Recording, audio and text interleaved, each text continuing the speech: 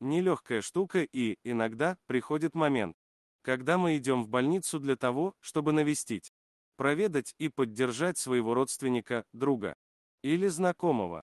На прошлой неделе Сандра Иньеста была доставлена в больницу. Ничего серьезного, чтобы угрожало жизни девушки.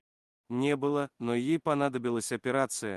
Чуть позже персонал больницы заметил собаку, которая стояла у входа. Ее звали Майя, и это была собака Сандры. Песик очень переживала за свою хозяйку и решила навестить ее. К сожалению, Майю не пустили вовнутрь, это запрещен правилами больницы. Но Майя было уже достаточного того, что она находится рядом со своей любимой мамочкой, и она не намерена уходить с этого места до тех пор, пока Сандра не выйдет из больницы. Акита Ину очень преданная порода собак. Самый известный пес в мире Хатика тоже был этой породы. В 1920-м он каждый день встречал и провожал своего хозяина на работу. Пока, в один день, мужчина не скончался.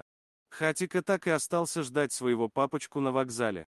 Хатика назвали самым верным псом в мире, ведь он ждал целых 10 лет. А его статую воздвигли в Токийском университете. Именно там работал его владелец. А этот герой хоть и не является представителем породы, а китаину, но прождал своего владельца целых восьмой месяц, пока тот находился в больнице. Сотрудники больницы нашли ему место и кормили песика. Все это время. Что же, пожелаем Майе, чтобы она, как можно скорее, воссоединилась со своей мамочкой.